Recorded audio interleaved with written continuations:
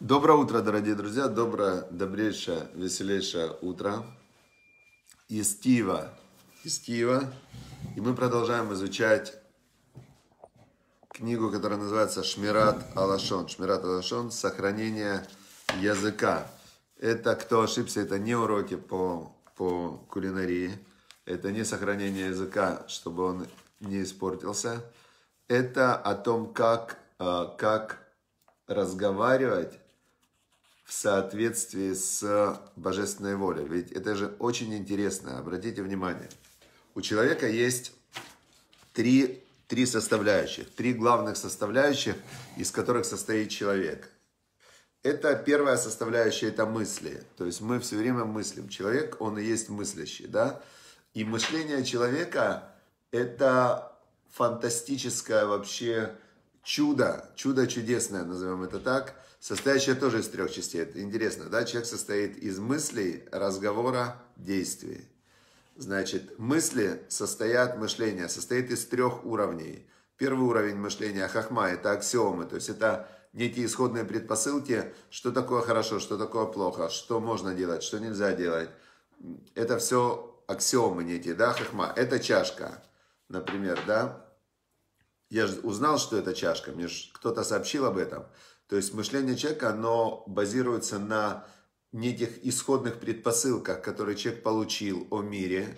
А, значит, если это человек э, религиозный, то он, это, эти исходные предпосылки называются хахма, божественная мудрость. То есть он получил знания о мире от Бога, да, вот эти вот, что такое хорошо, что такое плохо, это крошка сын к отцу пришел и спросила кроха, а уже человек такой вот настоящий, он должен прийти к Всевышнему и спросить, ну что такое хорошо, что такое плохо. Это называется хахма, божественная мудрость. Значит, мы ее получили через пророков. Дальше. Вторая часть мышления называется бина. Теперь, когда у человека есть э, некие аксиомы, дальше человек все остальное его мышление, он комбинирует аксиомы с выводами своими. И вот эта чашка. Хочу ли я пить, не хочу ли я пить кто ее сделал? Эта чашка черная, черный цвет красивый, некрасивый и так далее. Это все идут уже строительства самого человека. Он на базе аксиом постоянно в голове строит свою картинку некую. Что это значит? Он мне сказал, я хочу то, это значит, что так, а вот это значит другое. Это называется бина. Дат – это уже цельная картина. Вот я воспринимаю мир, у тебя сейчас Оп, вот давайте зафиксируйте и зафиксируйте как фотографии момент своего восприятия мира. Вот как бы остановите свое мышление. Вот попробуйте. Оп. И вот та картинка, которую вы сейчас восприняли, это называется дат. Она состоит из исходных предпосылок, аксиом, из э, того, что вы себе наделали выводов. И общая вот это вот, когда вы фотографируете, общая картина мира называется дат. Это все касается мышления, оно происходит внутри. Дальше человек э, своим разговором, он выражает, выражает, что он хочет, выражает, э, вот он к другим людям обращается, свое отношение к ним, он их о чем-то просит, он им о чем-то рассказывает, он пытается передать с помощью речи свою картину мира, свою модель мира, свое восприятие мира, пытается передать другим людям – и то, что человек себе в мыслях задумал, да, вот есть такое понятие, как мечта или цель.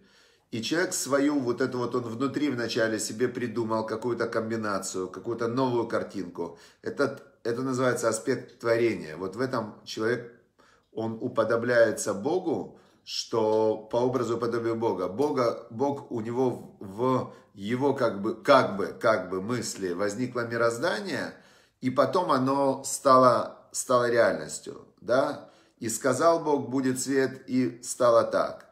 То есть, когда человек что-то себе придумал, дальше для того, чтобы эту свою придумку воплотить, он должен говорить о ней, он должен ее объяснять другим людям, он должен другим людям сказать, ты дай мне то, ты сделай это, ты и так далее. Это уже речь. И так как речь – это то, что является, как написано в Торе, когда Бог создал человека, он его сделал руах мималеле, это так э, переводят на, на арамейском, то есть дух говорящий.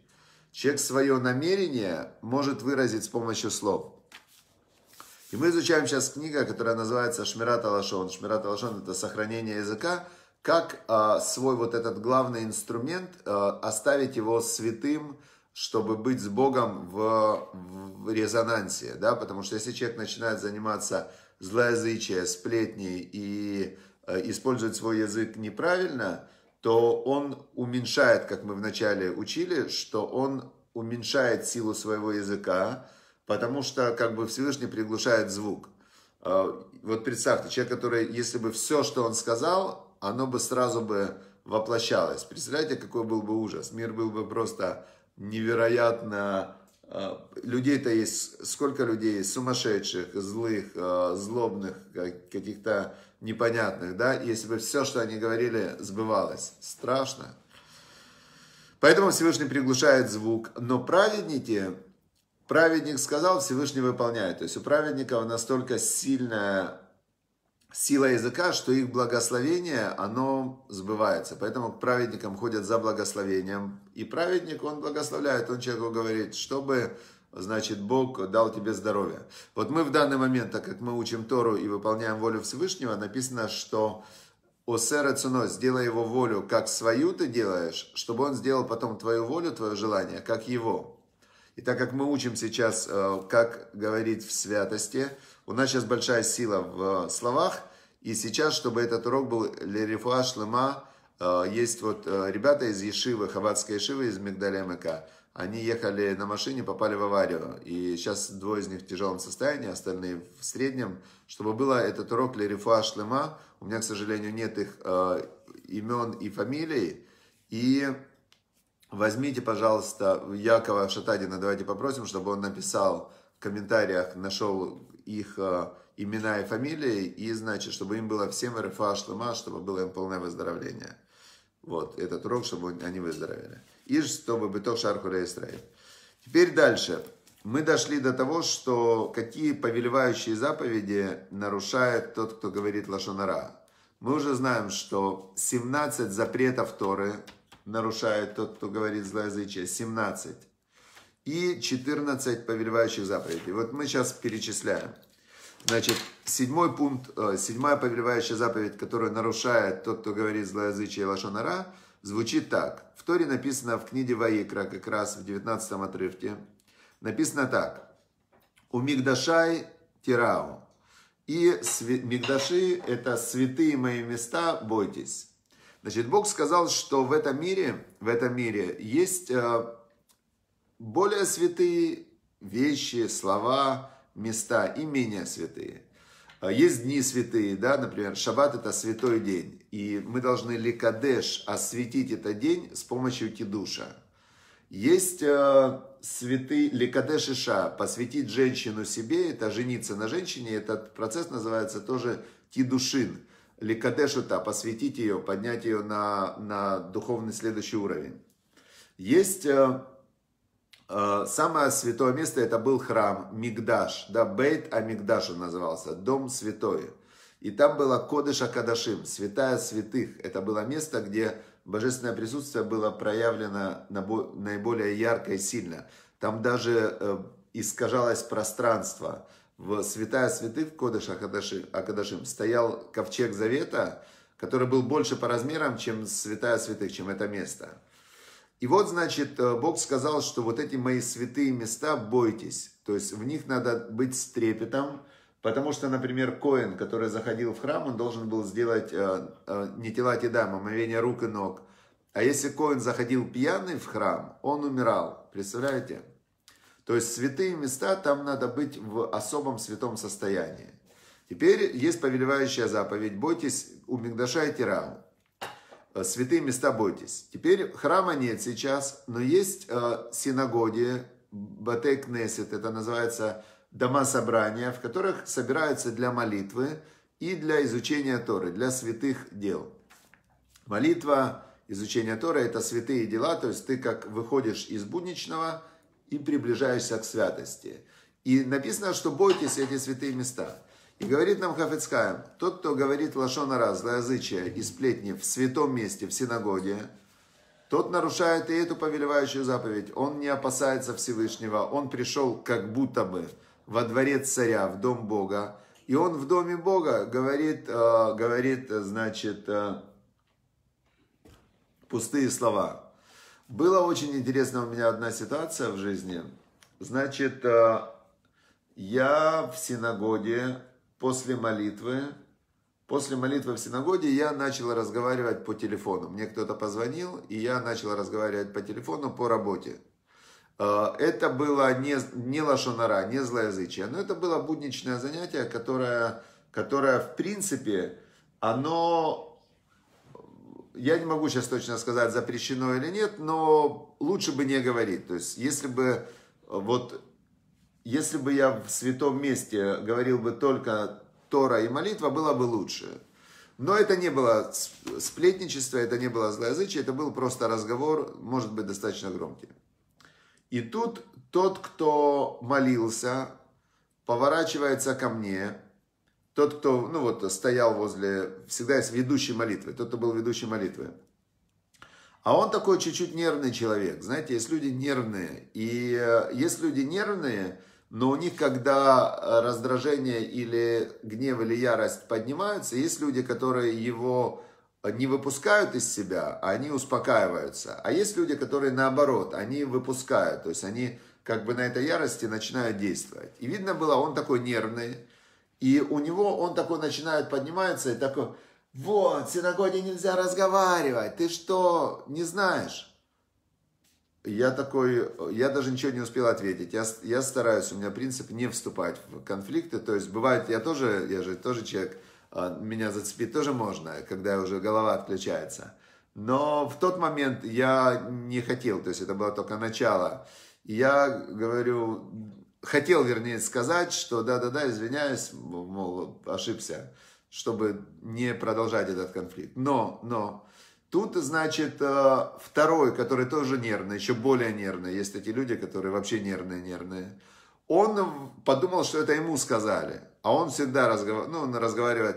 И он как начал этому, а ты на себя посмотри, ты что вообще, э, это с другим замечания делаешь, ты что? И они как начали ругаться, вообще просто в синагоге начали друг с другом ругаться. Теперь, э, ну, я как остановить их я знал, что невозможно. Вот тут как раз вот эта вот заповедь э, «увещевай в том месте, в котором твое увещевание будет услышано», а, это я понял, что увещевание услышано не будет. И они продолжили между собой э, ругаться, а я пошел, вышел из синагоги. И когда выходишь из синагоги, тот, кто хочет выполнить повелевающую заповедь, бойтесь святые места, то я обратил внимание, что те люди, особенно это касается восточных евреев, они очень с невероятным почтением относятся к синагогам, к святым местам. Они выходят из синагоги всегда спиной. И те люди, которые хотят выполнять заповедь э, «Святые места бойтесь», они вот, если вы обратите внимание, на котеле у стены плача, они отходят, они не поворачиваются спиной к э, храмовой горе, они отходят вот так вот, э, ну, чтобы лицом постоянно идти, задом так идут, идут, идут, и когда выходят уже за ворота, кланяются и тогда отворачиваются. И вот эти восточные евреи обычно, это у них принято так, они из синагоги тоже так выходят, и я тоже стараюсь, ну, уже в дверях опять повернуться, как бы поклониться и выйти. Это вот так можно выполнить заповедь. А если там говорит Лашонара, говорит Кафицхайм, если в синагоге говорит злоязычие и сплетничество, то ты нарушаешь еще повелевающую заповедь, э, бойтесь синагоги. То есть ты не боишься Всевышнего, ты как бы во дворце у царя, ты Э, нарушаешь его же царя приказ о том, что можно делать, а чего нельзя. Значит, дальше. Э, если человек говорит злоязычие, сплетничество на э, пожилого человека, то он еще и нарушает повелевающую заповедь истории Ваадар Тапнезакен, то есть оказывая почет пожилому. Значит, пожилым людям надо оказывать почет. Это повелевающая заповедь истории. Видите, мы по ходу дела изучаем, и какие есть повелевающие заповеди. Есть повелевающая заповедь, которая звучит так. Лифнесейва такум, перед сединой вставай, ваадарат пнезакен, и почитай э, лицо закен это, вообще переводится закен это старец, но еще закен это, это тот, кто канах хахма. То есть бывает, что человек, он молодой по возрасту, но он уже мудрец, то есть он столько, мудрец Торы такой, он посвятил себя изучению Торы, он тоже называется как закен старец, потому что обычно старцы становятся мудрыми, через, пройдя жизнь, накапливают опыт, и у них к старости уже их отпускает лошонара, э, отпускает их зле, ецерара, злое начало к старости. А бывает, что в молодости, в молодости уже человек, он скопил вот эту мудрость и святость, перед ним тоже надо вставать. Теперь, если ты вместо того, чтобы перед сединой и перед вот таким вот э, умудренным старцем встать и отнестись к нему с почтением, ты про него или при нем, ты говоришь лошона злоязычие, тем самым его вводя в грех, то ты еще и нарушаешь повеление Торы, перед сединой вставай и почитай старца. Вот такая вот есть, э, то есть хуже всего это говорить лошонара перед старцем в синагоге. Это вообще тогда ты нарушаешь уже очень много заповедей. Хорошо. Теперь, значит, э, Лифнесева Такум Вадрат Незакен.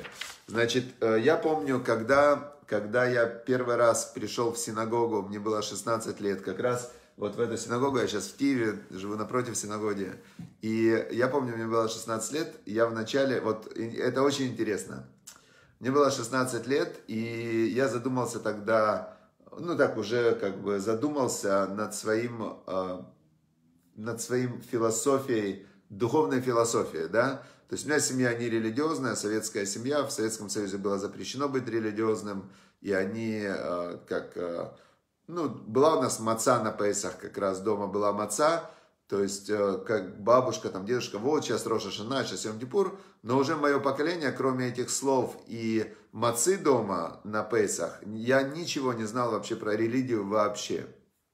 И вот, когда мне было 16 лет, 16-17 лет, я задумался, я уже тогда переехал в Киев, значит, мне было уже 17 лет, не 16, э, и я жил в институте физкультуры в общежитии, в самом центре города, улица физкультуры 1, и там было общежитие для спортсменов в инфизе. И, значит, я там жил, я помню, и я решил, э, что мне нужно все-таки пойти в какое-то святое место для того, чтобы с Богом установить отношения. Я не знал, я еврей, я знал, что я еврей, но у меня не было понимания о том, в чем разница между религией, религиями, да, то есть для меня было что христианство, что мусульманство, что иудаизм это одно и то же, то есть я понимал, что э, они все каким-то образом хотят служить Богу, но у каждого у них разные, ну, разные, э, как сказать, разная символика, так, так я для себя в тот момент э, думал. Я думаю, куда мне идти? Я еврей, в синагогу. Где синагога? Синагога на Подоле. Ехать на Подол тогда было там, ну, с центра, ну, достаточно далеко. Я не знал, никогда не был на Подоле, в этой синагоге на Чековицкой. Я думаю, нет, я поближе. В центре, в центре был Владимирский собор, в центре прям Киева. Думаю, пешочком тут рядышком, значит. Прихожу в этот Владимирский собор, захожу в собор, а я был спортсмен такой, в сборной СССР, такой в спортивном костюме СССР, Адидас, в шапке в такой спортивной. Я захожу в этот Владимирский собор, э, ну и такой ищу, где же здесь Бог? И тут какие-то бабки, такие старые бабки, очень противные такого вида, они мне говорят, о, пришел тут вообще этот самый, остолоп, там как-то они меня начали такими словами странными называть, да, Э, шапку сними. Ты что, не знаешь, это, что в храме надо шапку снимать? Я думаю, а мне очень не любил, ну, такое к себе некрасивое отношение. Я не помню, что этим бабкам ответил. Но обычно, когда на меня плохо говорили, я отвечал тоже плохо. То есть это, ну, как бы, та мера, которую человек меряет, меряет ему. Я, по-моему, этим бабкам тоже что-то сказал. И, значит, ушел из этого. Думаю, не может быть, чтобы в святом месте вот такие бабки были. Думаю, все, я еврей, это мне знак, надо идти в синагогу. Прихожу я в синагогу, захожу в синагогу, такая она была тогда не старенькая, не отремонтированная, такая темная. Захожу в синагогу, темнота такая, сидят такие деды, такие деды такие мрачные. А, ну, в то время молодежь не ходила ни в синагоге, ни в церкви, то есть было 90-е годы. Я захожу, и уже я опытный. Я же понимаю, что в святом месте надо снять шапку. Думаю, я пойду на опережение. Снимаю шапку в синагоге, а в синагоге наоборот, нельзя снимать шапку. Нужно, чтобы голова была покрыта. Обязательно нужно быть с покрытой головой. В этом уважение к Всевышнему. Но я же не знал этой всей символики. Я уже сразу снимаю шапку Тут на меня эти деды как начали, то же самое, очень некрасиво. Ты кто вообще? Ты что сюда пришел? Я говорю, как то? Я еврей. Я говорю, я еврей. Они такие, какой ты еврей? Ты татарин. Говорит, что ты не знаешь, что нельзя в синагоге шапку снимать. Я думаю, ну что за жизнь такая, да? То есть пришел Бога искать, а меня везде обругали. То есть обругали там, обругали здесь. И я ушел из синагоги тоже. И с 16 лет, таким образом, ну, с 17 лет я больше в синагогу ни, никуда не заходил, ни в какие места. Почему? Потому что те люди, которые ходят в святые места, к сожалению, не всегда святые.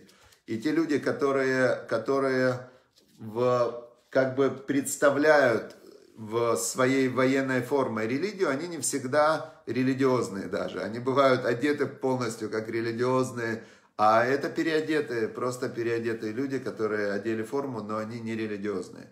Поэтому очень важно то, что мы сейчас изучаем. Ни в коем случае никого не обижать словами, никого не обижать э, ни сплетнями, ни словами. Это запрещено, потому что сказал царь Давид, мудрейший из людей, «Ми аиша хафец хаим», кто человек, который жаждет жизни. «Оэв ямав ротов», который все дни хочет видеть только добро. «Нецор лешунха мира», останови свой язык от зла. Весватеха медабер мирмай. Свои уста от того, чтобы обманывать, искажать и так далее. Сурмира, отодвинься от зла, веасетов, и делай добро. Бакеш шалом, проси, бакеш это как э, стремись к миру, к шалому, вератвеу, и гонись за миром, за шаломом, за шлум. Шалом это и мир, и совершенство. Все. Всем удачи и успехов. Мечети вот спрашивают, мечети рядом не было. То есть в Киеве на то время, ну и сейчас э, все-таки мусульман э, намного меньше, чем... Я не знал, во всяком случае, у меня не было ни друзей мусульман, ни знакомых в то время, и про мечеть я даже не знал. Сейчас я знаю, что есть мечеть на Подоле, и потом уже во втором этапе, когда уже мне было 23 года, и меня опять потянуло ко Всевышнему, то я первое время, ну, у меня уже было плохое воспоминание, и я в мечеть тоже заходил. Я заходил в мечеть, я помню, я тогда уже понял, что свинину есть нельзя, и я в мечети покупал, я помню, ну, мясо, но я еще не знал тогда, что мусульмане, у них э, похожие законы забоя скота на еврейские, но э, евреям все равно нельзя есть халаль. Есть э, мясо, которое забито в, по мусульманскому закону. Мусульманам я слышал, что можно, потому что у евреев более строгие законы э, по взаимоотношению с животными. Я слышал, что мусульмане едят кошерное мясо, э, потому что там точно нет ни свинины, ни, э, ни вот то, что мусульмане по... Я не знаю нюансов, как режут скот мусульмане, но евреям нельзя есть мусульманское мясо. Все, удачи, успехов, всем хорошего, прекрасного дня, свободного от злоязычия и от сплетен.